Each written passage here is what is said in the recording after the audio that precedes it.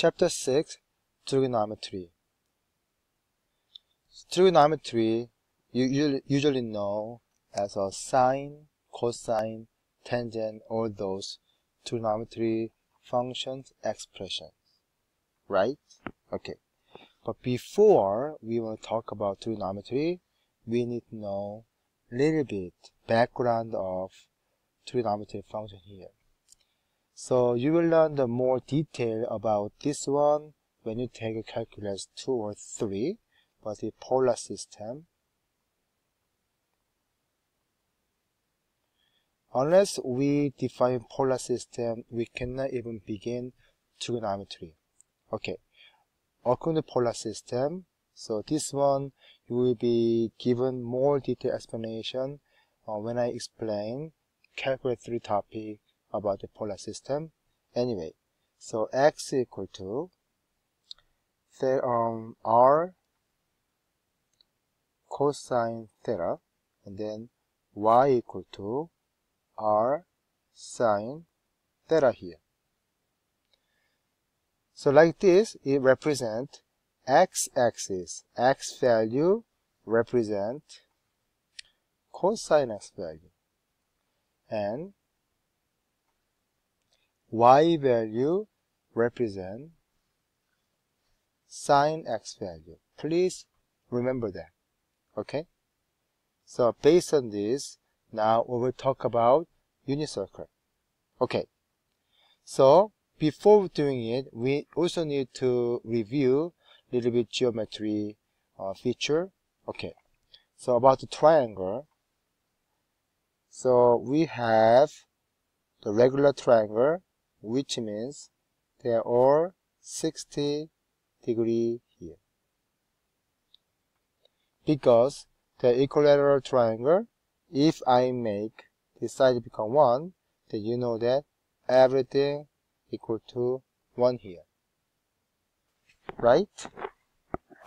But now, I'm to draw angle bisect through the, the first angle here.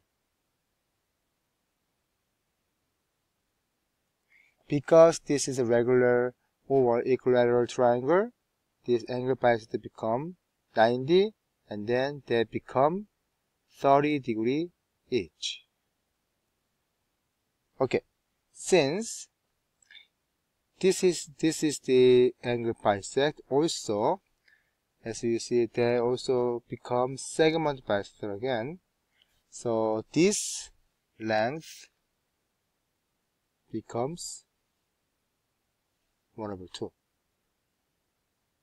Okay? Of course, the other side also 1 over 2 here. So, I'm gonna draw, uh, erase the second half here. Okay? Then,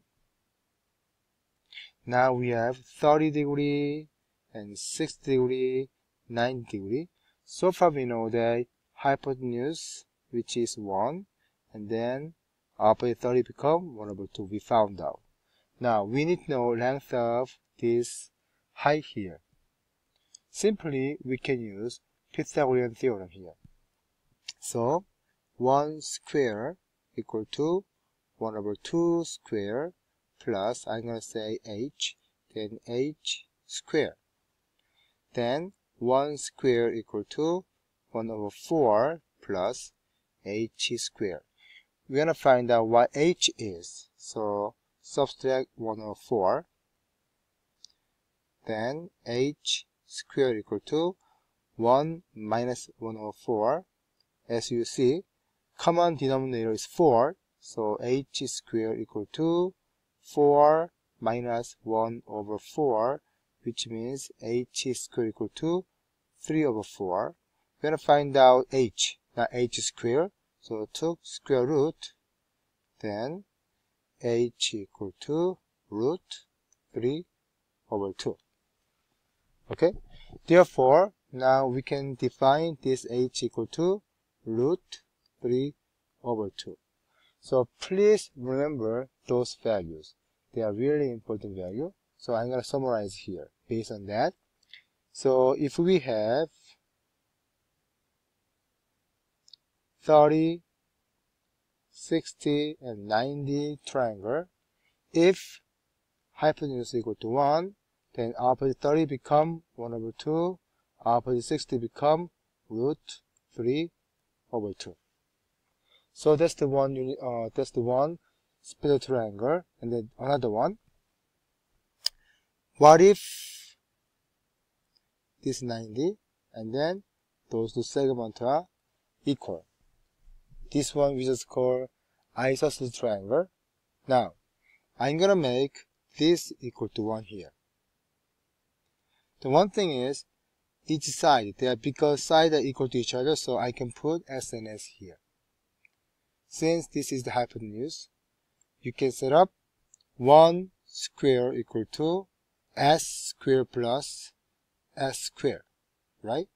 So 1 equal to 2 s square. Now divide by 2. Then s square equal to 1 over 2 here. Take out square root. Then s equal to 1 over root 2. Or you make a rationalizing then root 2 over 2 here. Okay? Since this is 90 degree, you know, we can find out each angle is 45 and 45 so this case, if hypotenuse equal to 1, then each length becomes root 2 over 2. Okay? So please, sorry, please think about 30, 60, and 90 triangle. Then you have to know opposite 90 or hypotenuse equal to 1 then opposite 30 equal to 1 over 2. Opposite 60 become root 3 over 2. If triangle is 45, 45, 90 triangle, then hypotenuse become 1, then each length become root 2 over 2. That's the key point to start doing this trigonometry.